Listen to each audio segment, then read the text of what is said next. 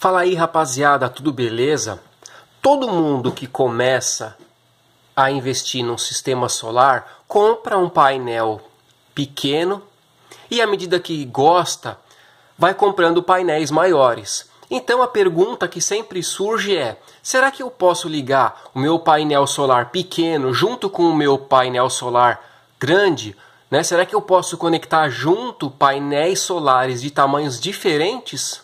Se você quer saber a resposta, vem comigo nesse vídeo que a gente vai conversar um pouquinho sobre isso. Vamos lá!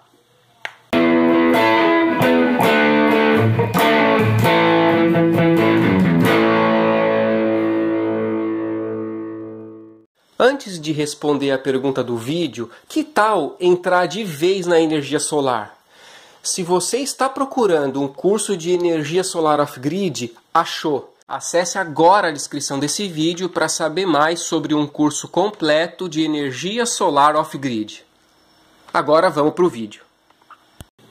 Pessoal, essa é uma pergunta frequente, todo mundo se faz. Será que eu vou poder ligar meu painel de 10 watts com meu painel de 50 watts em paralelo? Será que não vai estragar? Será que eu posso ligar meu painel de 50 watts com meu painel de 150 watts? Pessoal, quando os painéis são da mesma tensão, você vai poder sim, mas tem, alguma, tem algumas observações.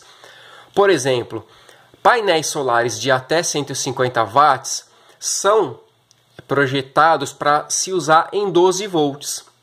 Então, em circuito aberto, ou seja, sem a bateria, eles vão estar tá dando ali por volta de 18 a 20, 24 volts na saída do painel.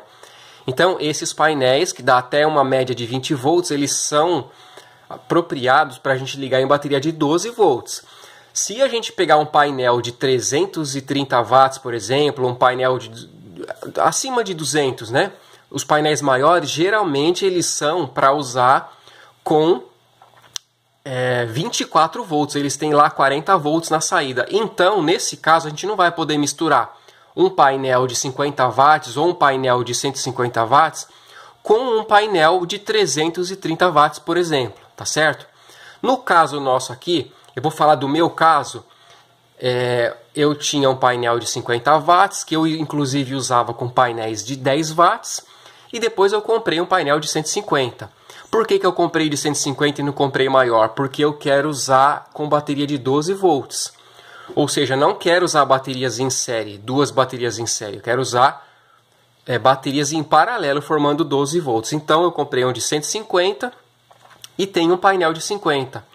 Então o pessoal pergunta, o pessoal fica preocupado, será que não vai estragar um painel ou outro? Pode usar? Pessoal, pode usar sim. Só que a gente precisa observar um detalhe, no meu caso, né? No, no nosso caso aí de usando para baterias de 12 volts, usando painéis de até 150 watts, por exemplo, a gente pode conectar em paralelo, mas a gente precisa colocar o diodo. Tá vendo aqui, ó? Vou mostrar o desenho para vocês aqui, ó. Então a gente precisa usar diodos. Para que serve esse diodo? Para, vamos dizer assim, para isolar os painéis. Caso tenha sombra em um painel, não vai energia do outro painel é, para esse painel que está desprotegido, que está na sombra. Então a gente, quando a gente coloca diodos, a gente está protegendo os nossos painéis, isolando os painéis para garantir evitar problemas, tá certo? Então, como que funciona isso? Qual que é o critério que a gente usa? Qual diodo a gente vai usar? A gente tem que usar um diodo que suporte a corrente de produção máxima do painel, certo? Então, no caso aqui de um painel de 50 watts, que vai produzir uma média de 2 amperes e meio, a gente pode usar um diodo de 3 amperes, que, por exemplo, é o diodo 1N5408, que é o que eu tenho usado. Você pode usar, é, por exemplo, três diodos de 1 ampere em paralelo, que são diodos 1N4007, por exemplo. Se você colocar três diodos lado a lado, os, a, a, produção do painel de 2 amperes e meio vai se dividir por entre os três diodos. Então você pode usar um diodo só de 3 amperes ou três diodos de 1 ampere, mas também nada impede de você usar um diodo de 10 amperes. Não tem problema. É, isso quer dizer que o diodo suporta 10 amperes, então ele vai deixar passar tranquilo, 1, 2, 3, 4, 5, você não vai ter problema. Então pode usar diodo de maior corrente, não pode usar menor. Se você tem um painel de 50 watts e colocar um diodo de 1 ampere, ele vai romper esse diodo, vai aquecer, vai sobrecarregar e vai estourar o diodo, certo? No meu caso aqui, no meu sistema, eu tenho o painel de 150 watts, então o que, que é recomendado? Como ele produz por volta de 8 amperes, a gente precisa usar algum diodo que suporte passar por ele 10 amperes, tá certo? No meu sistema, o que, que eu fiz? Eu mostrei aí já no canal. Eu coloquei três diodos aqui de 3 amperes em paralelo. Então eu tenho três diodos lado a lado, diodos 1N5408 que suportariam 3 amperes cada um. Então eles vão fazer um total aí de 9 amperes. O painel produz 8.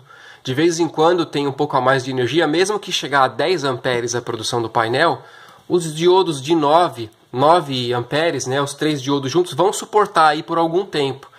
Como são só picos de luz que vai ter ali de, de, de, vez em quando, raríssimo e por pouco tempo vai ter mais de 9 amperes, então não tem problema, tá certo? Mesmo esse painel de 50 watts já chegou a produzir até 5 amperes é, em alguns momentos, por alguns segundos. Eu já vi, já observei, mas mesmo o diodo de 3 amperes suportou bem, tá certo? Então essa aí é a, é a observação. Se você tem painéis, assim como eu, painéis de tamanhos diferentes, mas que não sejam assim é, gritante a diferença, né? Um painel, como eu falei, um painel de 50 watts que é de 12 volts não pode ser usado em paralelo com um painel de 300 watts que vai produzir 40 volts, que é indicado para 24, certo?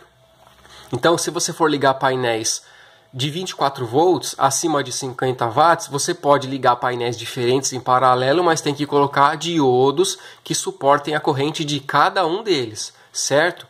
No meu caso aqui, de 150 watts para baixo, a gente pode conectar vários painéis diferentes, contanto que cada painel tenha um diodo que suporte a corrente máxima que ele produz.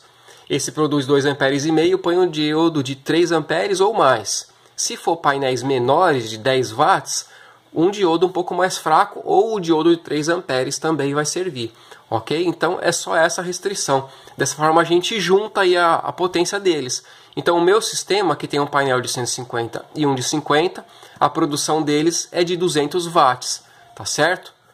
Então essa aí era a observação, a dica para tirar a dúvida dos colegas aí. Então a gente pode sim conectar painéis solares de tamanho diferente em paralelo, tá certo? Aqui está o desenho de como se faz a ligação, inclusive aproveitando o desenho já que eu tinha de um controlador solar, ok?